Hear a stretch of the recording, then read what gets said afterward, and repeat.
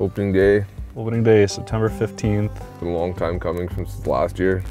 I rolled up to the grain bin spot where I'd been scouting all last week, and two local guys had beat me there. I went further north to catch up with Jason on a section of land he had been scouting since we split up this morning. Odds of us seeing it before it sees us, low. So you're asking me if I want to stalk a deer.